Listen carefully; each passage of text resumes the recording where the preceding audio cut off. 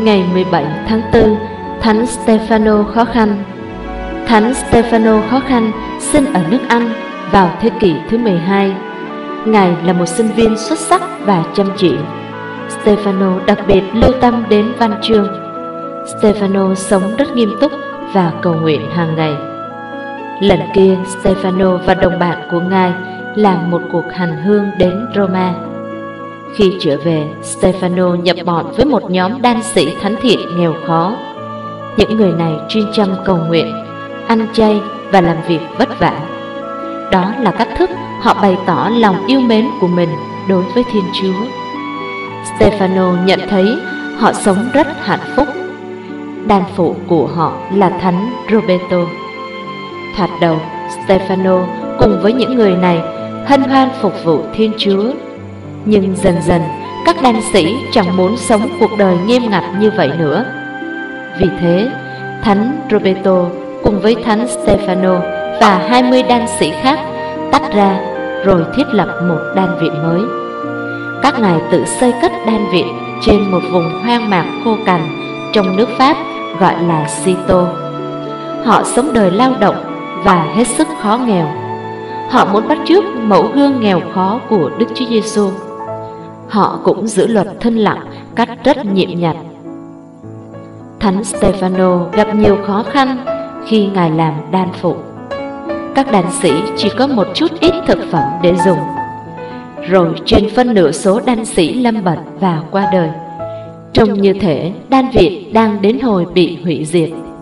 Họ cần thêm những thành viên trẻ mới để tiếp tục duy trì lối sống của họ. Stefano cầu nguyện cùng Thiên Chúa với lòng tin tưởng và lời cầu xin của Ngài đã được Thiên Chúa chấp nhận. Thiên Chúa gửi đến cho các đan sĩ Sito này thêm 30 thanh niên nữa. Họ cùng nhau tới gõ cửa đan viện.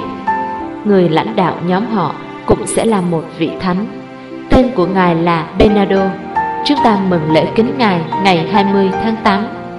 Đây là một ngày kỳ diệu lạ lùng đối với Thánh Stefano và các đan sĩ.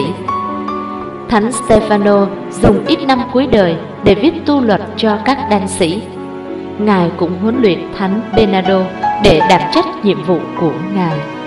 Khi tắt thở, Thánh Stefano nghe các đan sĩ đứng xung quanh giường Ngài bàn tán. Họ nói rằng Stefano không hề sợ chết vì Ngài đã làm việc rất chăm chỉ và mến Chúa hết lòng. Nhưng Thánh Stefano nói rằng Ngài sợ mình chưa tốt làm đủ và Ngài nói rất nghiêm chỉnh. Điều đó cho chúng ta thấy thánh nhân thật khiêm nhượng chừng nào. Thánh Stefano qua đời năm 1134. Chúng ta thường sống trong sự ồn ào náo nhiệt cả ban ngày lẫn ban tối. Chúng ta nghe máy thu thanh, xem tivi, chơi vi tính và những trò chơi băng hình. Đầu óc chúng ta chứa đầy những tiếng động Chúng ta hãy nài xin Thánh Stefano, đan sĩ, giúp chúng ta mỗi ngày gắng tìm ra một ít thời gian thinh lặng. Đó là lúc chúng ta để Thiên Chúa hoạt động trong tâm trí và con tim của mình. Nhưng chúng ta cần phải cầu nguyện để biết khôn ngoan lợi dụng thời giờ. Tin mừng nét